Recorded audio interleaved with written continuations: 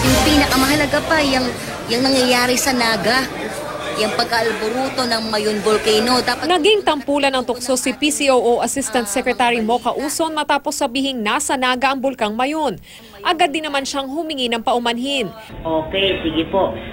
Aaminin ko po ngayon, nagkamali po ako. Hindi po naga. Bicol. Okay, pasensya na po. Tao lang nagkamali. Pero dahil hindi pa rin lubusang tama, muli niya itong itinuwid. Pasensya na nagkamali ako sa Naga. Okay, ang bulkang Mayon ay nasa Albay. Pasensya na po. Gawin pa bang national issue yan? Dahil sa pagkakamaling ito ni Asik Uson, parang mayon na nag-alboroto ang mga netizen sa social media.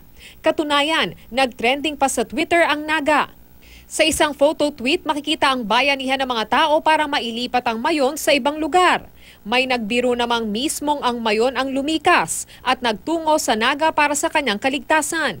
Sabi ng isa pang netizen, maghanda na dahil may nationwide tour ata ang mayon.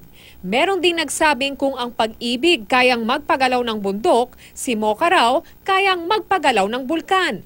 Ayon naman kay Asek Uson, huwag na raw sana itong palakihin pa lalo't mas marami raw dapat pagtuunan ng pansin. Ginagamit ko po itong oportunidad na ito na nakuha na pong atensyon nyo kayong mga mga nambabash, mga bleeding hearts, tumulong po tayo sa mga kababayan natin sa Albay sa pagsabog nitong volcano.